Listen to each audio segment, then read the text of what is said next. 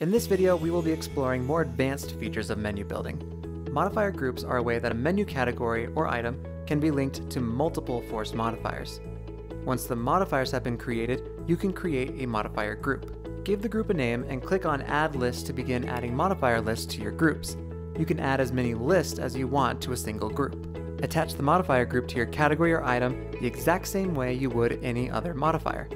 Modifier groups will always be listed at the bottom. Pizza Creator can be used to create menu items for pizza restaurants. The main purpose of using this feature is to have options like left half, right half, light, and extra built into the modifiers. With your modifiers for pizzas created, click on Pizza Settings. You may need to enable the feature. To make a new creator, click on Edit Creators. Click Add New and provide a name for the pizza creator. Once you click Save, the creator will be added to the list. Click on your new creator to start adding your force modifiers to this group. This is essentially the same process as creating a force modifier group. The one additional setting to pay attention to is the partial serving price. This can affect how toppings on only half of a pizza are handled. With the pizza creator finished, attach through the force modifiers dropdown just like you would any other modifier. Combos are a bit tricky to get the hang of.